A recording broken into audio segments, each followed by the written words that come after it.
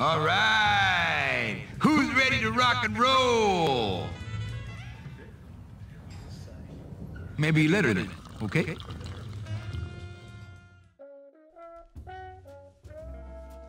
All right, I'm ready, Derek. what the hell? Hello there, fellow adventurers.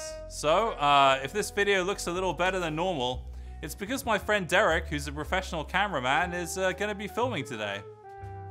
Action! So, today we're going to be talking about a game that uh, Derek actually suggested, isn't that right? That's right, Steven.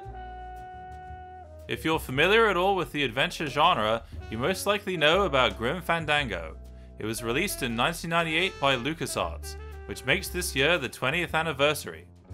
This is writer and director Tim Schafer in 1995, and 20 years later in 2015. He was a driving force behind other LucasArts classics such as Full Throttle. Driving force? Get it, Derek? No, I do not get it. Tim Schafer also founded Double Fine Productions, which remastered the original game in 2015.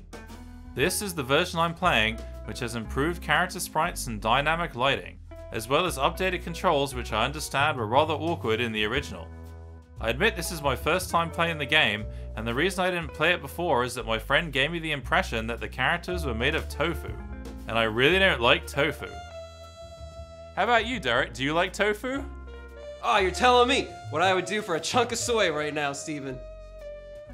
As it turns out, everyone isn't made of tofu, they're actually skeletons, and the story is set in the land of the dead. Our main protagonist is Manuel Manny Calavera, as seen here on this t shirt. Alright, you want to zoom in on that, Derek? Okay, Steven.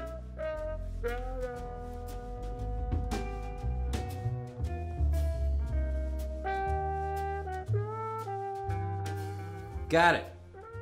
Got it.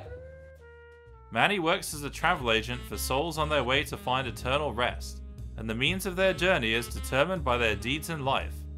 It's here at the Department of Death that Manny meets the woman he's prepared to follow to the ends of the earth. Literally. This is Mercedes Meche Colomar, and she doesn't seem to have any skeletons in her closet. Did you kill much when you were alive? Very little. Never killed anybody? I have to confess, I never killed anybody. Not even a teensy bit of killing? Maybe I just wasn't trying hard enough. Work with me, Meche. Give me some dirt. Hey, Derek, did you kill much when you were alive? Nope. Never killed anybody? Uh, nope. No, not even a teensy bit of killing? Uh, no, pretty sure not. No. Work with me, Derek. Give me some dirt. I might have killed a man.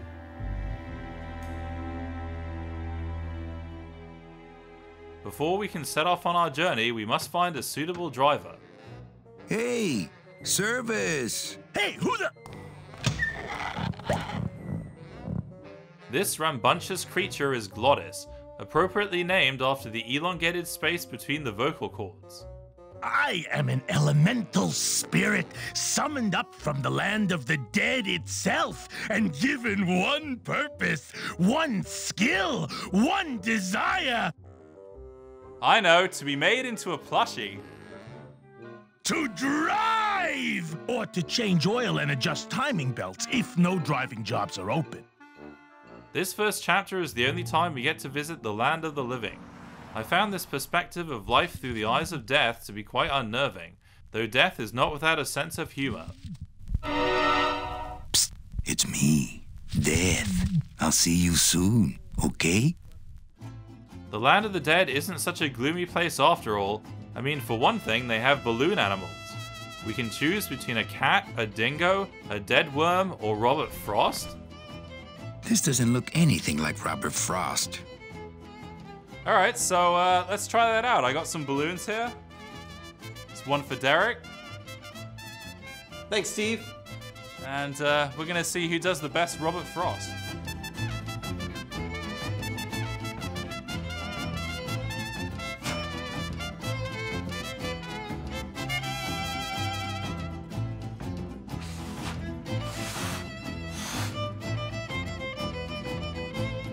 You get the pump? I think these are pump balloons.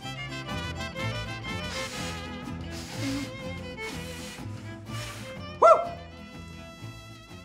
Let's check in and see what our elemental spirit friend is up to. Glottis, are you loco? What got into you? That was a company car. Oh yeah, and it's even better company now. I'm in. With Glottis at the wheel, the souped up bone wagon is unstoppable except when it encounters rugged terrain. For that, we're going to need an upgrade. Manny, until now we scraped along the ground like rats. But from now on, we soar. Like eagles. Heh.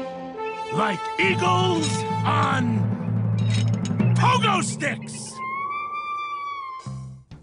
Well, Manny doesn't find any eagles on pogo sticks, but he does encounter some flaming beavers. Fortunately, he has a fire extinguisher handy. That's it, extinguish those beavers.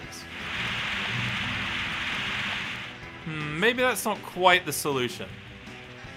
There's one part of the forest where I got totally stumped. Get it, Derek? Forest stumped? Ah, you lost me on that one, Steven. Anyway, you can drive in and out of these passageways but don't seem to get anywhere. I thought that if you went through them in a certain order, you'd come out somewhere else. But it turns out the way onwards was right under my feet. And that's all I have to say about that. After all, this is supposed to be a spoiler free review. Steven, are you sure you don't want to talk about the secret entrance underneath the ground? No, Derek, what did I just say? This is meant to be spoiler free. You want to get sprouted? Ugh, no. I don't even know what that is. Let me tell you. Well, put simply, sprouting is how those who are already dead die.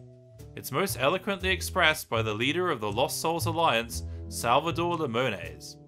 There's nothing more horrible than the bite of the sprouter. Its deadly stinger spreads a green disease through every calcified pore on your body, leaving you veined with roots and flocked with grass, steadily growing thicker and thicker until you crash and bloom out in a horrifying bouquet of pain and fragrant suffering, leaving you nothing but a patch of wildflowers on the ground swarming with butterflies. I love that story.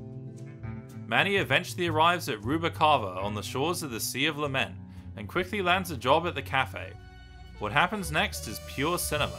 The camera slowly pulls back from Manny mopping the floor and out over the building. It then cranes up past this tower that looks like a giant spineless cactus, and we fast forward to one year later, when Manny's circumstances have entirely changed.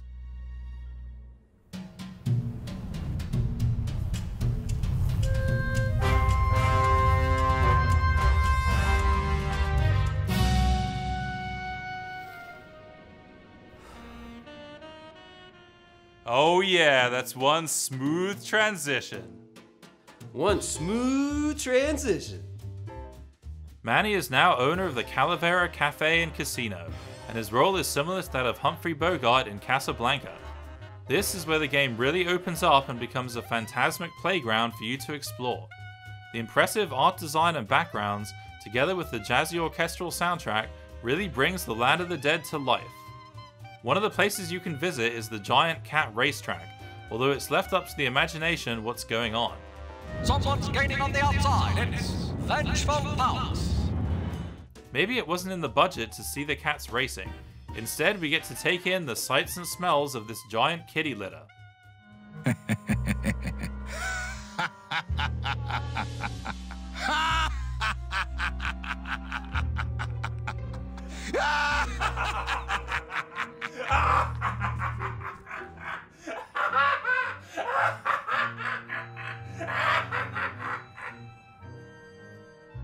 One of the most memorable characters for me is the coroner, who has a profound sense of mortality. Death makes sad stories of us all. He's not quite as chatty as Carla the security guard. Now there was a good dog, Mr. Rufus. Mr. Rufus? He was such a sweet little puppy. We didn't I care remember that I he was had a dog once. He was as deaf as they come, but he'd still try to bark, and it would come out sound. Grim Fandango is not a particularly quiet game. It's a grand epic story that doesn't throw any punches. At the same time, though, there are many subtle details and clues that are easy to miss if you're not paying attention. Then there's other things that fool you into thinking that there's more to it. At the Blue Casket Club, for example, the owner Olivia recites a poem. in a warm, cozy bed. Buried We wake. The flesh dream is over, Daddy. Now that we're all crazy and dead. I was sure that I had to perform the whole poem again in the correct order, but as far as I know, it's just part of Death's rich tapestry. you get that one, Derek? Steven, I'm not sure that's even a joke. In the second half of the game, things continue to twist and turn in new and exciting ways. You'll have to play the game for yourself to uncover all of its mysteries, but you can expect a wild adventure full of action, comedy, Coming home soon? What did you say, little kitty? Don't talk, kitty cat. Just run, baby! romance, Oh, my stockings! They're ruined! And this was my best pair! and vomit.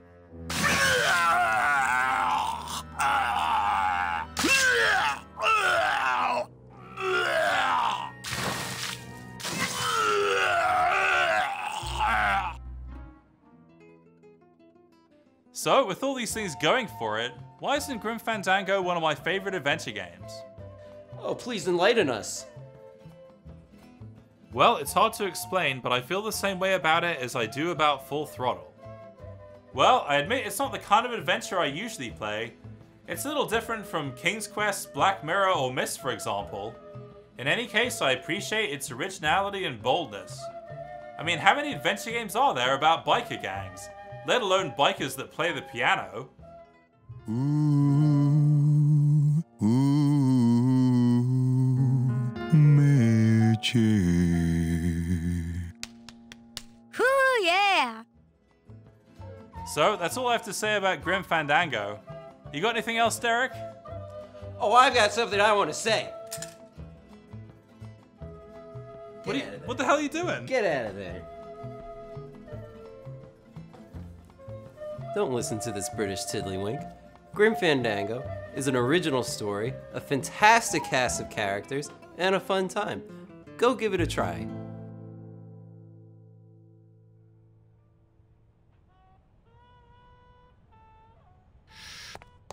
It's the mug rack at the end of the world.